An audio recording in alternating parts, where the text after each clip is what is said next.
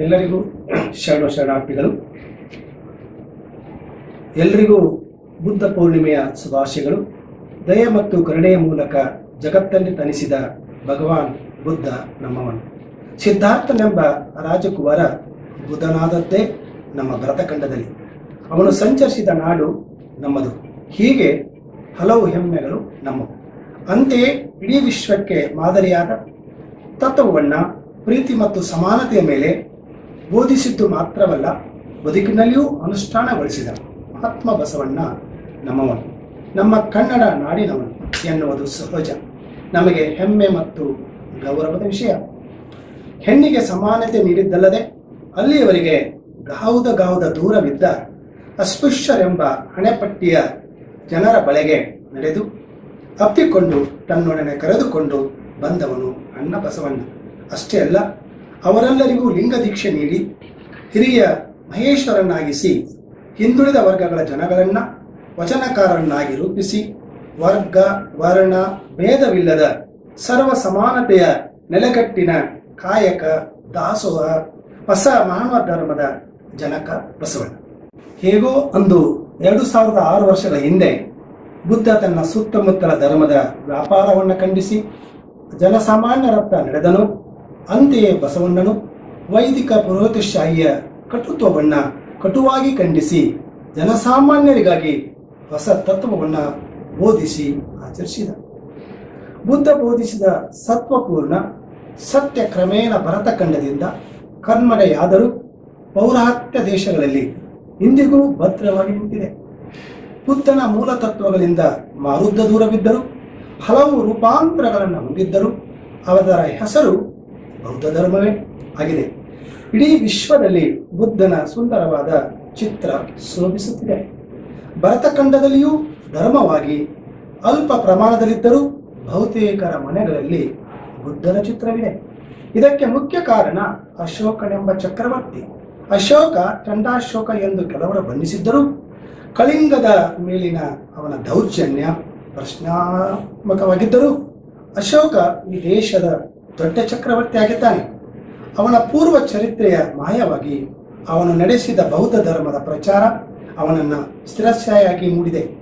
ಎಂಥ ಶ್ರೇಷ್ಠ ಅಶೋಕ? ಅವನ ಕುರಿತ ಚಲನಚಿತ್ರ ಬಂದಿದೆ. ಧಾರಾವಾಹಿಗಳಿಗೇನೂ ಕಡಿಮೆ ಇಲ್ಲ. ಬಾಲ್ಯದಲ್ಲಿ ಅವನ ಕುರಿತು ಓದಿದ್ದೇವೆ. ಭಾರತ ಸರ್ಕಾರದ ಚಿಹ್ನೆಯಾದ ಸಾರನಾಥ ಸ್ತಂಭ ಅವನ ಕೊಡುಗೆ. ಅಶೋಕ ಕೇವಲ ಬುದ್ಧನ ತತ್ವಗಳು ಮಾತ್ರ ಸ್ವೀಕರಿಸಲಿಲ್ಲ. ಅದರ ಸರ್ವಾಂಗೀಣ ಬೆಳವಣಿಗೆಗೆ ತನ್ನನ್ನು ತಾನು ಅರ್ಪಿಸಿ ಸಮರ್ಪಿಸಿಕೊಂಡ ಚಕ್ರವರ್ತಿ ಅಶೋಕ ಬೌದ್ಧ ಧರ್ಮದ ಸ್ಥಾಪಕನಾದ ಗೌತಮ ಬುದ್ಧ ಹುಟ್ಟಿದ ಸ್ಥಳ ಜ್ಞಾನೋದಯವನ್ನ ಪಡೆದ ನೆಲೆ, ಮೊದಲ ಧರ್ಮ ಬೋಧನೆ ಮಾಡಿದ ಉದ್ಯಾನ, ಕೊನೆಗೆ ಆತ ನಿರ್ಮಾಣ ಮಾಡಿದ ಪವಿತ್ರ ಸ್ಥಳಗಳಿಗೆ ಸ್ವತಃ ತೀರ್ಥಯಾತ್ರೆಗಳನ್ನು ಕೈಗೊಂಡನು. ಸ್ವತಃ ಚಕ್ರವರ್ತಿ ಧರ್ಮ ಪ್ರಸಾರ ಮಾಡಿದ್ದನ್ನು ಕಂಡು ಜನಸಮೂಹ ತಂತಾನೆ ಬುದ್ಧನ ಅನುಯಾಯಿಯಾದರು. ಬೌದ್ಧರ ಸಂಖ್ಯೆ ಹೆಚ್ಚಿತು. ಅಶೋಕ ಮಾಡಿದ ಮತ್ತೊಂದು ಕೆಲಸ ಬೌದ್ಧ ಧರ್ಮದ ಸರಳೀಕರಣ.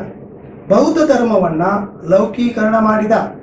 ಬಹುದೊಡ್ಡ ಸಾಮ್ರಾಜ್ಯದ ಅಧಿಪತಿಯಾಗಿ ಎಲ್ಲ ವಸ್ತುಗಳು ಅಶಾಶ್ವತ ಹಾಗೂ ದುಃಖಮಯವೆಂದು ಒತ್ತಿ ಹೇಳಲಿಲ್ಲ ಅಶೋಕ.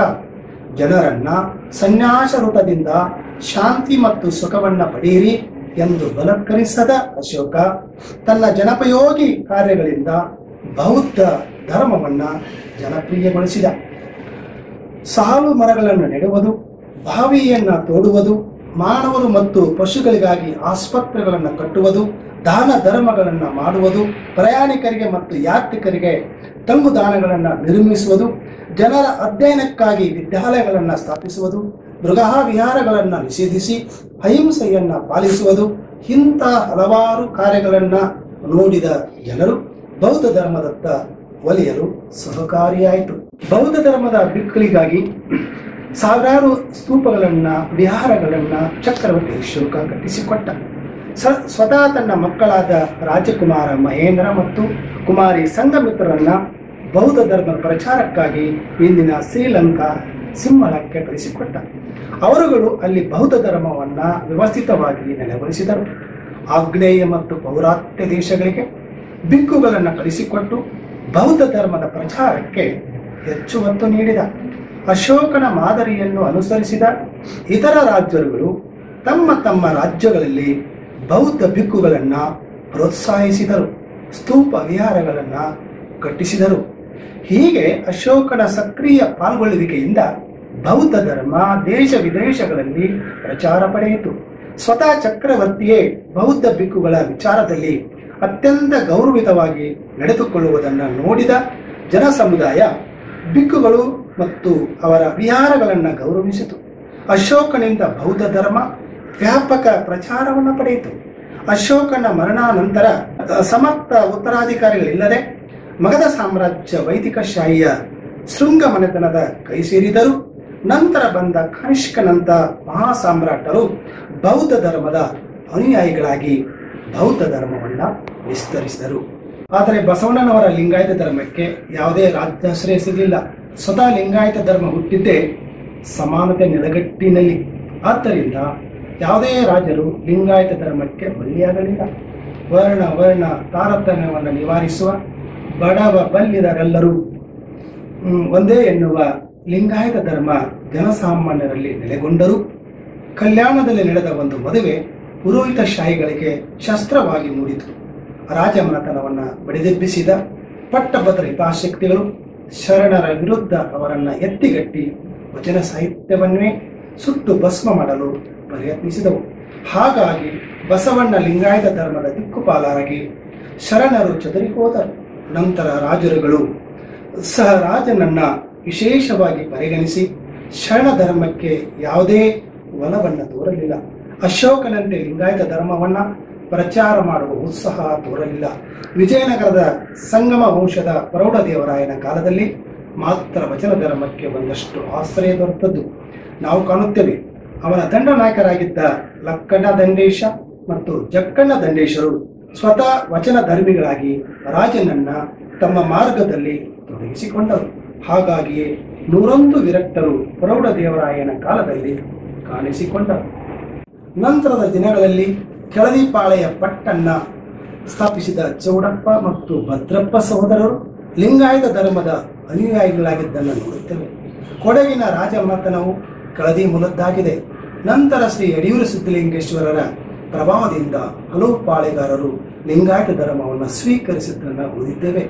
ಆದರೆ ಅಶೋಕನಂತೆ ಸಂಪೂರ್ಣವಾಗಿ ಧರ್ಮ ಪ್ರಚಾರಕ್ಕೆ ಬದ್ಧರಾಗಿ ಚಕ್ರವರ್ತಿಗಳು, ರಾಜರುಗಳು, ಪಾಳೆಗಾರರು ಬಸವಣ್ಣನವರ ಲಿಂಗಾಯತ ಧರ್ಮಕ್ಕೆ ಸಿಗದಿದ್ದರಿಂದ ಇದು ಕರ್ನಾಟಕದಲ್ಲಿ ಉಳಿಯಬೇಕಾಯಿತು. ಬಹುಶಃ ಏನಾದರೂ ರಾಜ್ಯಾಶ್ರಯವು ಲಿಂಗಾಯತ ಧರ್ಮಕ್ಕೆ ಸಿಕ್ಕಿದ್ದರೆ, ಬಹುಶಃ ಭಾರತ ಮಾತ್ರವಲ್ಲ, ವಿದೇಶಗಳಲ್ಲಿಯೂ ನಾವು ಲಿಂಗಾಯತವನ್ನು ಕಾಣಬಹುದಾಗಿತ್ತು. ರಾಜ್ಯಾಶ್ರಯವಿಲ್ಲದೆ ಲಿಂಗಾಯತವು ಕರ್ನಾಟಕದ ಬಹುಸಂಖ್ಯಾತರ ಧರ್ಮವಾಗಿದ್ದು, ಬಸವಣ್ಣನ ನಂತರ ಸ್ಥಿತ್ಯಂತರದಲ್ಲಿ ಹಲವು ಜಾತಿಗಳ ಸಂಕೀರ್ಣವಾಗಿ ಆಧುನಿಕ ರಾಜರುಗಳಾದ ರಾಜಕೀಯ ನಾಯಕರುಗಳ ಮೀಸಲಾತಿ ತಂತ್ರದಿಂದಾಗಿ ಹಲವು ಗುಂಪುಗಳಾಗಿ ಮತ್ತೆ ಹಿಂದೂ ಆಶ್ರಯಕ್ಕೆ ನಡೆಯುತ್ತಿರುವುದು ಬಸವಣ್ಣವರ ಆಶಯಗಳಿಗೆ ವಿರುದ್ಧವಾಗಿದೆ ಎಂದಷ್ಟೇ ಹೇಳಬಹುದು. ಬುದ್ಧನ ನಂತರದ ಬೌದ್ಧ ಧರ್ಮವು ಹಲವು ಸ್ಥಿತ್ಯಂತರಗಳಿಗೆ ಒಳಗಾಗಿ ದೇಶ ವಿದೇಶಗಳಲ್ಲಿ ಬಗೆ ಬಗೆಯ ಬಣ್ಣಗಳನ್ನು ಪಡೆಯಿತು. ಅಂತೆಯೇ ಬಸವಣ್ಣನ ನಂತರ ಲಿಂಗಾಯತ ಧರ್ಮವು ದೇಶ ವಿದೇಶಗಳಿಗೆ ಹೋಗದಿದ್ದರೂ ಕರ್ನಾಟಕದಲ್ಲಿಯೇ ಹಲವು ಸ್ಥಿತ್ಯಂತರಗಳನ್ನು ಪಡೆದು ಕೆಲವು ಬಣ್ಣಗಳನ್ನು ಬಣಗಳನ್ನು ಪಡೆದಿರುವುದು ಸತ್ಯವಾಗಿದೆ. ಬಂಧುಗಳೇ, ಅಶೋಕ ಸಿಗದಿದ್ದರೂ ಬಸವಣ್ಣನವರ ತತ್ವ ಇಂದು ವಿಶ್ವಮಾನ್ಯವಾಗಿದೆ. ವಿಶ್ವದ ಶ್ರೇಷ್ಠ ಚಿಂತಕರು ಬಸವಣ್ಣನವರ ಚಿಂತನೆಗಳನ್ನು ಓದಿ ಆಶ್ಚರ್ಯಚಕಿತರಾಗಿದ್ದಾರೆ. ಹೀಗಾಗಿ ಬಸವಣ್ಣ ನಮಗೆ ಹೆಮ್ಮೆ, ಕನ್ನಡಿಗರ ಸಾಕ್ಷಿ ಪ್ರಜ್ಞೆ. ಒಟ್ಟಿನಲ್ಲಿ ಬುದ್ಧ ಬಸವಣ್ಣವರು ಕ್ರಾಂತಿ ಎಬ್ಬಿಸಿರುವುದು ಸಮ ಸಮಾಜದ ನಿರ್ಮಾಣಕ್ಕಾಗಿ, ಸಮಾನತೆಗಾಗಿ, ಸಮಾಜ ಸುಧಾರಣೆಗಾಗಿ, ಜಾತಿ ವಿನಾಶಕ್ಕಾಗಿ, ಸ್ವಾಭಿಮಾನದ ಬದುಕಿಗಾಗಿ ಅವರನ್ನು ಅರಿತುಕೊಂಡು ಅವರ ತತ್ವಗಳನ್ನು ಆಚರಿಸಿ, ಉಳಿಸಿ ಬೆಳೆಸಿದರೆ ಮಾತ್ರ ನಮ್ಮ ಬಾಳು ಸಾರ್ಥಕವಾಗುವುದು ಇಂಥ ಬಸವಾದಿ ಪ್ರಮದರ ಚಿಂತನೆಗಳನ್ನು ವಚನ ಜ್ಯೋತಿ ಬಳಗ ಕಳೆದ ಇಪ್ಪತ್ತೈದು ವರ್ಷಗಳಿಂದ ನಿರಂತರವಾಗಿ ಪ್ರಸರಿಸುತ್ತಿದೆ. ಮಕ್ಕಳಿಗೆ ವಚನದ ಪರಿಚಯವನ್ನ ಮೂಡಿಸುತ್ತದೆ. ಇದೀಗ ವಚನ ಜ್ಯೋತಿ ಬಳಗ ಯೂಟ್ಯೂಬ್ ಚಾನಲ್ ಆಗಿ ದಿನವೂ ವಚನಗಳನ್ನು ಕುರಿತು ಒಳ್ಳೆ ಕಾರ್ಯಕ್ರಮ ಪ್ರಸಾರ ಮಾಡುತ್ತಿದೆ. ತಾವು ದಯಮಾಡಿ ವಚನ ಜ್ಯೋತಿ ಬಳಗದ ಯೂಟ್ಯೂಬ್ ಚಾನಲ್ಗೆ ಸಬ್ಸ್ಕ್ರೈಬ್ ಮತ್ತು ಬೆಲ್ ಬಟನ್ಗಳನ್ನು ಒತ್ತಿ ಪ್ಲೀಸ್ ಸಬ್ಸ್ಕ್ರೈಬ್ ಆಗಿ ಬೆಂಬಲಿಸಲು ಕೋರುತ್ತೇನೆ. ಮಾನ್ಯ ಶ್ರೀ ಪಿನಾಕ್ಪಾಣಿಯವರು ಈ ಒಂದು ಅವಕಾಶ ನೀಡಿದ್ದಕ್ಕಾಗಿ ಅವರಿಗೆ ಅನುಪೂರಕವಾದಂತಹ ಅಭಿನಂದನೆಗಳನ್ನು ಸಲ್ಲಿಸುತ್ತೇನೆ. ಎಲ್ಲರಿಗೂ ಶರಣು ಶರಣಾರ್ಥಿಗಳು.